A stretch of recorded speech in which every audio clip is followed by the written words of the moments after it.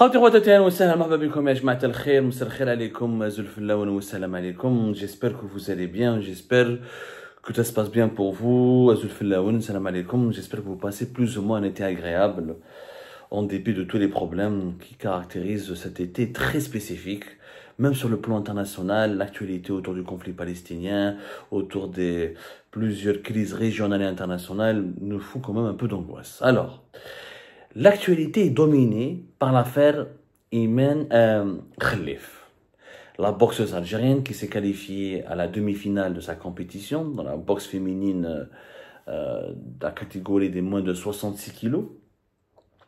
Imen Khalif, phénomène, polémique internationale, on a beaucoup parlé, on a expliqué les, tenants et les aboutissants de, de, des de ces, de ces polémiques qui se sont enclenchées autour d'elle, autour de sa... Euh, beaucoup ont contesté sa féminité, beaucoup ont contesté, l'ont accusé d'être un transgenre, d'être un homme déguisé. On a parlé de tous ces aspects et de, qui sont liés à la contestation de ses caractéristiques génétiques féminines. Et euh, pourquoi beaucoup, même des personnalités politiques internationales, médiatiques, sportives, euh, ne veulent pas de sa participation à, aux compétitions de la boxe féminine dans le cadre des Jeux Olympiques de Paris. Là, on a expliqué que c'était faux, que c'était une des allégations infondées. Le comité olympique international a soutenu Iman Khalif et lui a permis de participer et de pratiquer, d'exercer ce sport. Et ce qui lui a d'ailleurs permis de se hisser à la demi-finale, ce qui va garantir à l'Algérie au moins une médaille de bronze. Et si elle gagne sa demi-finale, elle va aller même aller en finale. Il pourrait même avoir une médaille d'argent, une médaille d'or. Maintenant, une enquête s'est imposée pour nous à Part. Beaucoup d'Algériens et d'Algériens ont accusé des parties étrangères d'être à l'origine des allégations et de la campagne de dénigrement ou de la campagne de déstabilisation ou d'une campagne de lobbying ou des opérations de lobbying internationales qui visaient à exclure ou à mettre à l'écart ou à disqualifier Iman Khalif euh, des, euh, des Jeux Olympiques de Paris. D'où viennent ces attaques? D'où vient cette campagne de déstabilisation qui viserait Iman Khalif. Parce que c'est clair, il y a une campagne de déstabilisation. Il y a beaucoup de, il y a beaucoup de personnes à travers le monde qui n'ont pas intérêt à ce que Iman Khalif arrive en finale ou la décroche une médaille d'or. Il y a des cercles dans le monde sportif, comme dans le monde médiatique ou politique, ou dans le monde médiatique ou sportif. Il y a des lobbies qui ne supportent pas, qui ne veulent pas de la présence de Khalif. Mais qui sont ces lobbies et comment cette histoire a commencé et d'où viennent hein, des polémiques? Pourquoi on s'est intéressé du jour au lendemain au physique, à la féminité contestée ou aux performances euh, sportives qualifiées de douteuses de Khalif?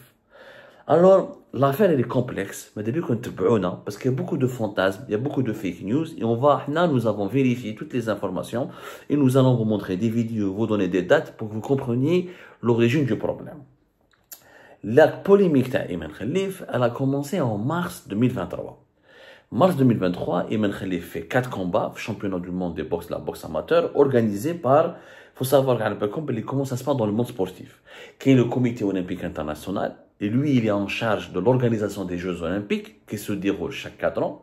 Mais dans chaque sport, il y a une fédération internationale qui est en charge du développement et euh, de la progression et du fonctionnement de la, de, sa, de la discipline, de sa discipline sportive. Et chaque fédération internationale d'un sport reconnu comme un sport olympique est affiliée au, au CIO, comité, au, euh, comité olympique international.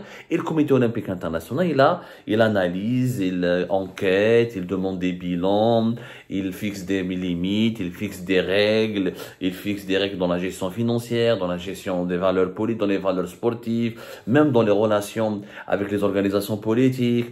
Le, le, comité international olympique, il a un certain nombre de normes et de règles de fonctionnement qui oblige, euh, pour, qui, qui, qui l'oblige à surveiller les fédérations sportives internationales des sports qui sont reconnus comme étant des sports olympiques.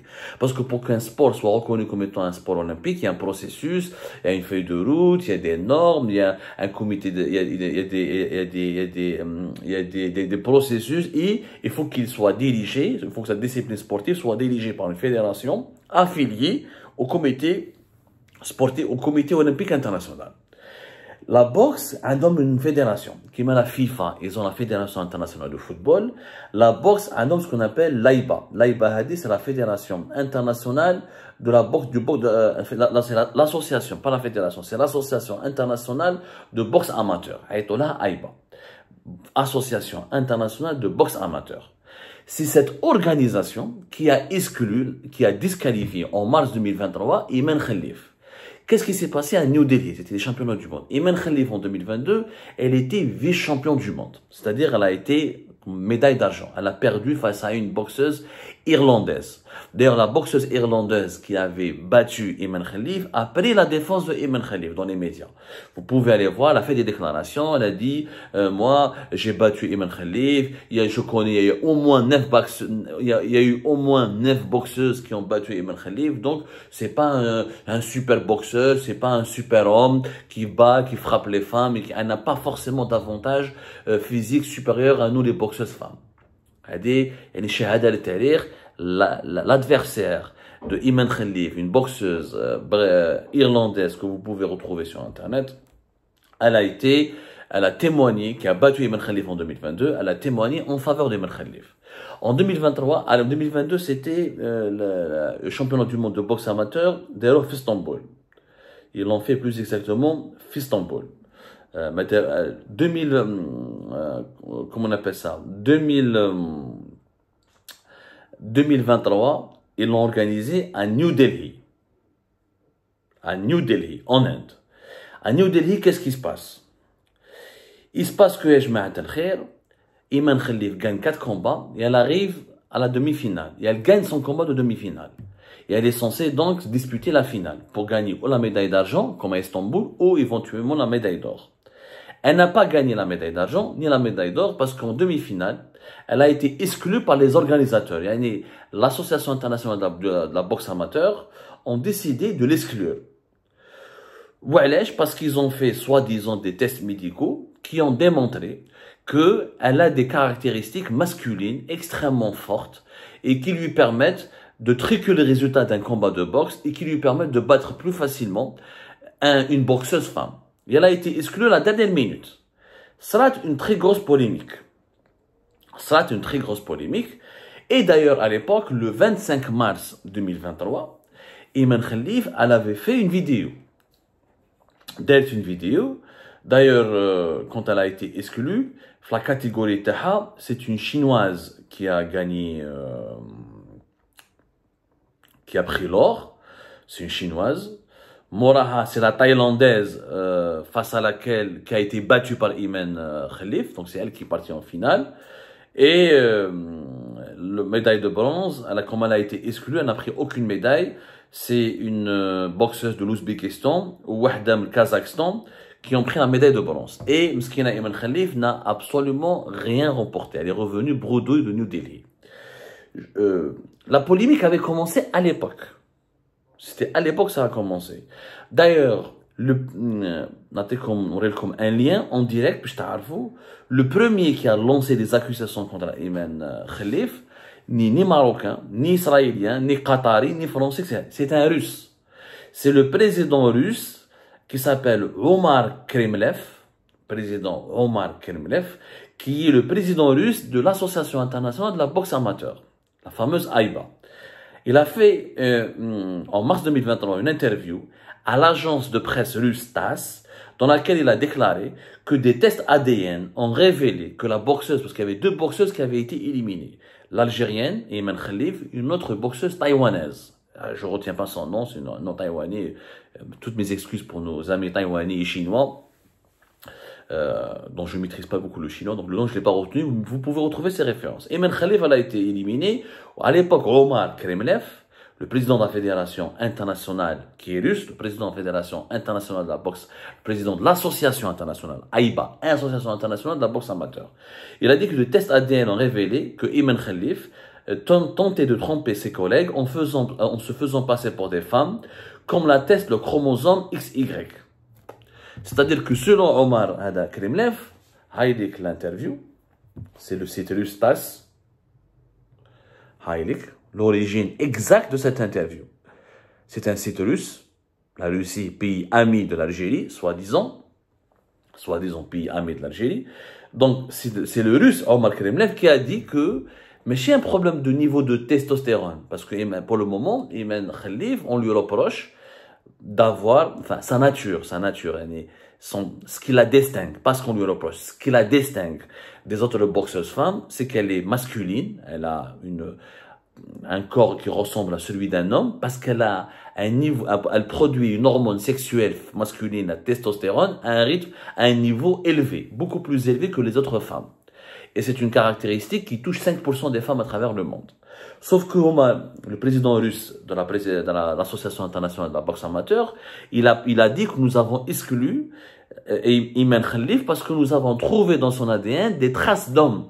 C'est-à-dire que lui, le, russe qui préside l'Association internationale de la boxe amateur a accusé Iman Khalif d'être un transsexuel. C'est quelqu'un qui est né le dans le corps d'un homme et qui est devenu une femme et qui a triché. Et donc Iman Khalif serait un homme déguisé, un homme un transsexuel, elle a triché et c'est pour cette raison qu'elle a été exclue. C'est en mars 2023. Et c'est Omar Kremlev qui a fait cette déclaration. Moraha, à l'époque, ça a été une polémique. La polémique, c'est Iman Khalif qui a réagi. Ou à l'époque, Iman Khalif, quand elle a réagi, elle a fait une vidéo sur les réseaux sociaux. Je vais vous la montrer. وين تقول باللي انا جي في Havroni, elle a demandé le soutien des autorités algériennes, elle a demandé le soutien des, des, sportifs algériens, elle a demandé le soutien des supporters algériens qui aiment la boxe, etc. Mais elle a fait, à l'époque, c'était en plein ramadan, et c'était juste un championnat mondial de la boxe, c'était pas les Jeux Olympiques, donc il n'y avait pas beaucoup de médiatisation. Et donc, l'affaire Iman Khalif, elle est passée pratiquement inaperçue. Je vous à l'époque, Iman Khalif.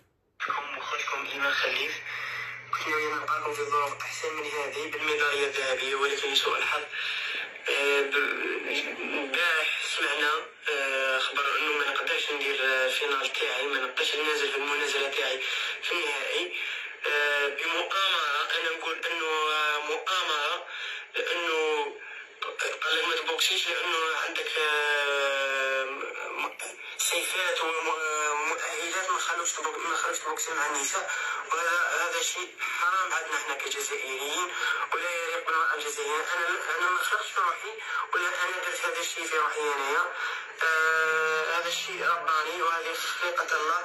بالرغم من آه تنمر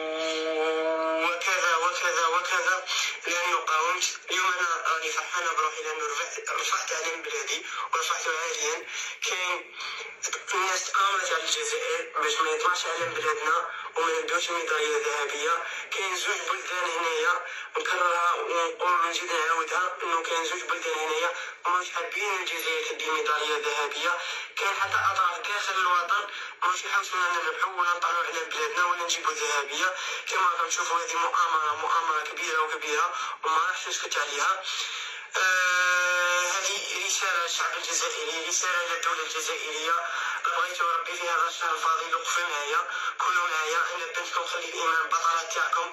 رغبت العالم بلادي في أكبر المحافل الدولية درت عديد من البطولات العالمية. يجي في بطولة عالمية كما هذه تكون ضامن ميداي دور. تكون باغي تدي ميداي دور ميداي دور تاعك. يجي يقول لك بلي ما تبوكسيش باسكو عندك عندك لي كاباسيتي أكثر من الاخرين وكذا وكذا وكذا. ولكن هذا الشيء راه خلقت الله ماشي أنا اللي خلقته بعد أربع منازلات. ومن بعد يجي يقول لك هذا الشيء انا تاسف نتاسف بزاف آه مؤامره ومؤامره كبيره هذه رساله للشعب الجزائري آه سلتها لهم باش يوقفوا معايا آه يكونوا معايا راني في حيرة من امري ما رانيش عارفه روحي كاع وين راني واش راني ندير واش راني هذا الفيديو لكم انتم الشعب الجزائري الى الدوله الجزائريه وقفوا معايا Voilà. À l'époque, c'est ce qu'elle avait dit Iman Khalif. C'est elle qui a accusé deux pays. Elle a accusé deux pays. Elle ne les a jamais identifiés, ces pays-là. Elle n'a jamais dit de quel pays il s'agit. Il faut savoir qu'avec la compétition mondiale, le championnat du monde en 2023, il a été très controversé. Walèche parce qu'il a été boycotté par tous les pays occidentaux. Les États-Unis d'Amérique, par exemple, le, euh, la Suisse, la France, beaucoup de pays à l'époque ont boycotté le championnat du monde. Pourquoi? Parce que des boxeurs russes et biélorusses ont été autorisés à participer au championnat du monde organisé à New Delhi. L'Irlande, les États-Unis, la Grande-Bretagne, la République tchèque, le Canada, les Pays-Bas, la Suède, la Norvège, les Hadouk Et le président de l'association internationale de la boxe amateur est un russe. Et le vice-président, c'est un Ukrainien, mais il est pro-russe. Donc il y avait un problème politique. Le problème politique, il a éclaté. Et même le comité olympique international qui a voulu lui sanctionner les athlètes, euh, qui lui a appliqué euh, des sanctions contre les athlètes russes et qui était solidaire avec l'Ukraine dans sa lutte contre l'invasion russe, eh ben, c'est le problème bien le comité olympique international ou bien euh, l'association internationale de la boxe amateur. Il faut savoir que depuis 2019, les deux instances ne s'entendent pas entre eux. وهذه عليكم تقراو un article écrit par un journaliste du Point qui a magnifiquement résumé cette histoire. Il faut savoir qu'en 2019, le comité olympique international, il a découvert des mauvaises gestions et des irrégularités financières dans le bilan de l'association internationale de la boxe amateur. C'est le problème. Ou qui depuis 2020 avec le président russe, donc je, Omar Kremlev, qui, qui a, qui a lui-même annoncé la disqualification de Iman Khalif, Z, les rapports se sont encore compliqués parce qu'avec le président russe et son vice-président étaient pro-Poutine, pro la Russie, en faveur de la Russie et de Poutine, ils avaient permis la participation de, des, des boxeurs russes et biélorusses fait 2023 fait New Delhi. Donc, ça sera un clash. Il y a un clash entre le comité olympique international et Hadi l'AIBA.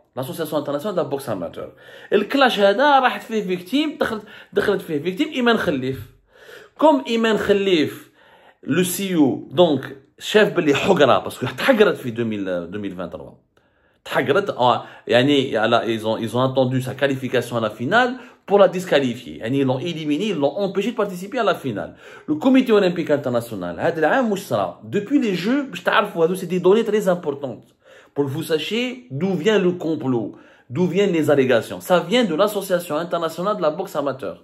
C'est l'AIBA. C'est l'AIBA qui veut absolument détruire et casser la carrière de Iman Khalif et de l'empêcher de faire du sport ou là de participer à la boxe féminine ou là de continuer à participer ou à exercer ou là être considéré comme une athlète autorisée à faire de la boxe féminine. C'est l'AIBA. C'est pas, il n'y a pas un autre pays, c'est l'AIBA. Donc, nous faisons, في 2000 كي صاو لي بروبليم مع البريزيدون روس هذا ولي بروبليم فينونسي en 2019 le comité olympique international s'est fâché avec les responsables de l'AIBA le comité olympique international il a décidé depuis les Jeux olympiques de Tokyo 2020 qui ont eu lieu en 2021 de prendre lui-même en charge l'organisation du tournoi olympique à la boxe amateur Normalement, le comité olympique, il ne se mêle pas. Normalement, ce sont les fédérations, les associations sportives internationales qui organisent les tournois de qualification et qui organisent même le tournoi, les tournois finaux, les tournois finaux de leur discipline sportive lors du déroulement des Jeux olympiques. Le ça a changé. Depuis Tokyo, même fait Paris, CEO, comité olympique, il a proposé de l'argent, je vous indemnise, il a payé euh, l'AIBA, et en échange, en contrepartie, c'est lui qui organise. C'est-à-dire, c'est lui qui décide qui participe en tant que boxeur, en tant que boxeuse. Et voilà les, comment se sont passés les tours de qualification. Et voilà qui va, comment vont se passer, ou là, comment vont se dérouler les combats de la boxe amateur. C'est ce qui s'est passé. Donc, le clash كبير le clash المشكله تاع ايمان خليف انها عندها هي elle est visée par l'association internationale de boxe amateur c'est pas un pays c'est une fédération, c'est une association internationale. D'ailleurs, l'Algérie, en 2020, mars 2020, on a déposé un recours qui a été rejeté par les organisateurs. On va faire des recours internationaux, apparemment, jusqu'au tribunal arbitral sportif. Et le, le problème euh, avec, entre la, la, la, fédération algérienne de boxe et l'association internationale de boxe amateur, il est toujours en cours, n'a pas été encore résolu officiellement le comité olympique international a pris parti, a pris, euh, il a défendu Iman Khalif, il a réhabilité Iman Khalif, qui a été rejeté, éliminé par l'AIBA, par l'Association internationale de la boxe amateur. Maintenant, est-ce que le Maroc a une quelconque relation avec ce sujet? Je non, j'ai pas trouvé aucune preuve. Parce qu'il y a ici deux pays. En 2023, Iman Khalif aurait pu remporter facilement la médaille d'or. Parce que comme les boxeuses occidentales n'ont pas participé et que en 2022, c'était l'Irlandaise qui avait gagné. C'était pas euh, euh, l'Irlandaise qui avait gagné, elle n'avait pas participé en, 2023. Donc la, la, la boxeuse qui avait battu Iman Khalif en 2022, n'avait pas participé en 2023, donc il était possible euh, qu'elle gagne. Il était normalement, le logique, tous les observateurs disaient à l'époque, c'était Iman Khalif qui allait gagner euh, le championnat. Elle n'a pas gagné. Elle n'a pas gagné. Donc, on a comme euh,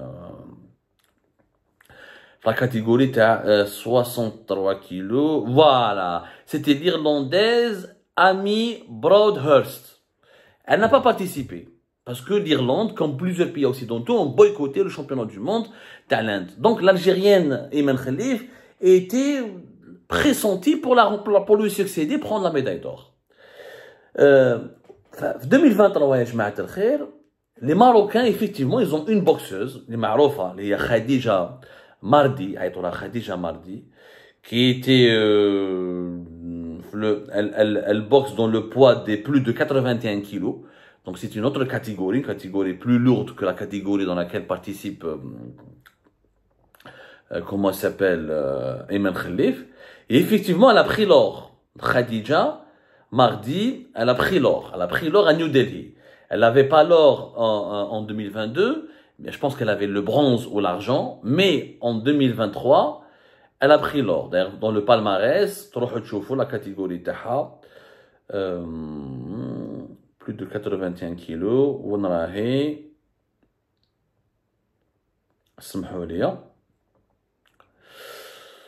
Le Maroc avait une médaille d'or. Ça, je l'ai vérifié. Je sais que euh, je sais que c'était vrai.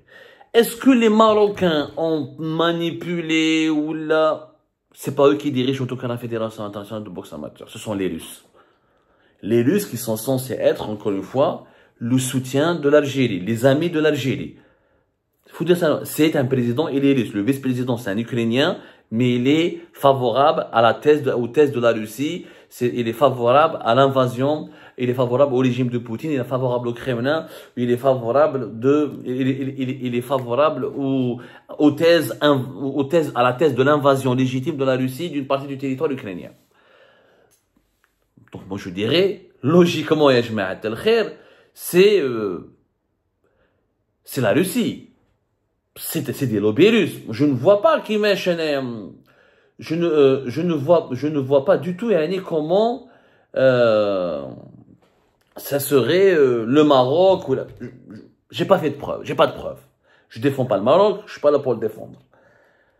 Recontextualisons un peu les choses, je euh, le premier problème de madame de notre compatriote Iman Khalif, c'est l'association, l'association internationale de boxe amateur. Elle dit la vérité. D'ailleurs, l'association internationale de boxe amateur, tellement elle, elle, a été gênée, tellement elle a été humiliée, tellement elle a été discréditée par les succès et la qualification de Iman Khalif et les victoires au, cours de, pendant les Jeux Olympiques de Iman Khalif, elles ont même décidé de payer et d'indemniser l'AIBA a offert, elle a proposé d'offrir de l'argent aux boxeuses qui ont été battues par Iman Khalif. Juste pour dire que c'était un combat inégal, que le comité olympique s'était trompé, qu'il avait autorisé un homme transsexuel, ou là une femme, euh, ou là un homme transformé en femme, à combattre d'autres femmes pour remporter une médaille d'or. Pour discréditer le comité olympique international, l'association l'AIBA, l'association internationale de la boxe amateur, avait voulu récompenser, ou a proposé de l'argent, a proposé de l'argent euh, pour, aux, combattantes ou là, aux adversaires qui ont perdu face à euh, Iman Khalif. C'est quand même grave. la, boxeuse marocaine Khadija Mardi, effectivement, elle était médaille d'or au championnat du monde de New Delhi en 2023, poids lourd. Elle avait la médaille d'argent en championnat du monde d'Istanbul en 2022 comme l'Algérienne Iman Khalif.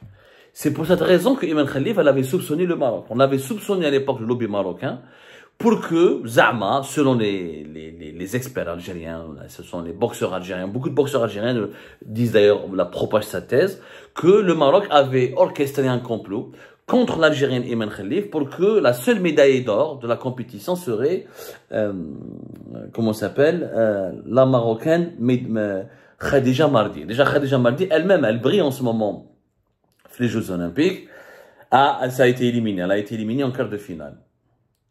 Elle a été euh, en quart de finale. Elle a été éliminée hier en quart de finale. Mais la thèse qui avait été propagée par les proches de Iman Khalif, c'était le Maroc. Mais le Maroc ne dirige pas l'association internationale de boxe amateur. Il faut dire la vérité. C'est le président, c'est le président russe qui a lui-même dit, le lien. comme le lien, pour qu'on ne se perde pas, c'est le président russe de la fédération, de l'association internationale, je dis bien, de la boxe amateur, qui a lui-même affirmé, qui a lancé la première fois la thèse Belli, voilà, il s'appelle Omar Krimlev, et l'interview, elle a été faite en mars 2023. C'est lui qui a dit que nous avons fait des tests médicaux et qui, sont, qui ont prouvé la non-éligibilité de Iman Khalif et qu'elle a des chromosomes d'homme et qu'elle serait, qu'elle triche, voilà le lien en russe, le lien en russe, l'agence TAS, TAS.ru, et c'est lui qui a donc discrédité, disqualifié, il a décidé de disqualifier, il a dit, je répète, elle tente de tromper ses collègues en se faisant passer pour des femmes, comme la teste ses chromosomes XY.